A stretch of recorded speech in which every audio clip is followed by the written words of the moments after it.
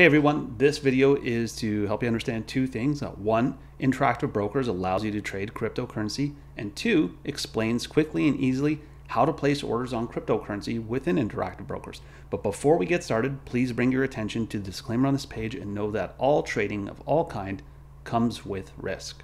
So please give that a read through. And now let's get started. So what you see here is I have Tesla on the page, and I'm not going to go through my entire setup. I have a different video on how I set up interactive brokers or IBKR, if you will. I go through all the different details. Um, I discuss why I prefer interactive brokers for executions and what the strengths are. So if you want to learn about that, I'm going to link to that here. On Twitter, it's under my highlight section. And on YouTube, you can find it on my YouTube channel. I have full in-depth where I walk you through step by step with not only setup, but customization. That is outside the scope of today's video, but I will quickly remind everybody that these are all linked. So this is just a chart this is an order entry panel, and this is book trader. They're all linked, meaning that if I change one, the others will change in tandem. And why is that? Because they're grouped together, right? So you see the green chain, it's group four, right? Panels on group four. And of course, book trader is set to group four. If I change that, well, when I switch something over in one of them, it won't compute with the rest. Now, give you an example here. If I go to Microsoft, you'll notice that Microsoft automatically populates in the other because they're grouped together.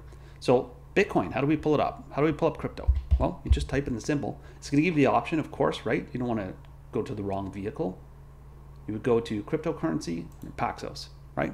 And there you go. You pulled up Bitcoin. Now, placing an order, you see that Bitcoin is at 34.6 and change. Okay, well, what do you do with that? Uh, if you're placing an order and you're wondering, how do I size that out? Don't worry about it. When you go to place your order, it doesn't matter, you can place it in one or the other, up to you, and you can customize all the details, arm your panel, all that sort of thing. As you go to buy, let's say you're buying, and you can set specifics, limit market, etc. When you enter your quantity here, you do it in US dollars. So if you don't have enough to purchase a, an entire Bitcoin, or if you don't want to in your account, uh, 34.6, you just set the dollar amount that you would like to purchase in for, and it will perform the calculation for you. So if you, let's say you're putting in $100, you don't have to say, okay, let me purchase 0.0x percent or portion of a single Bitcoin. That'll be automatically calculated for you. And then, of course, there are other cryptocurrency vehicles that you can use. So you just type ETH to pull up Ethereum. Navigating away, we'll reset the order entry. That's okay. And here we go. Ethereum cryptocurrency. Now, before you proceed, if you want to take a look at the FAQs to understand more, I would advise you to go to Interactive Brokers page, and I'm going to pull it up right here. And so here we are. You can learn a lot more. You can learn about the commission structure. You can learn about more about interactive brokers. And there will be a full FAQ so you can understand all the different details as it pertains to crypto. And you can see things like, well, what cryptocurrencies can I trade, right? Because there is a host, there are endless number of cryptocurrencies. And this might change in the future. Of course, it may expand. Gives you all the details that you're looking for.